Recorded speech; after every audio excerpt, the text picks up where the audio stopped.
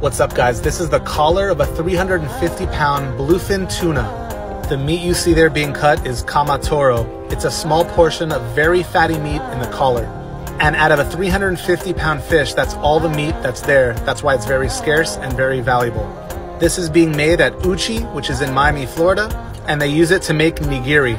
So they cut thin slices, they score the meat, then they wrap it up into the sushi rice, top it off with a little sauce and wasabi, and there you go.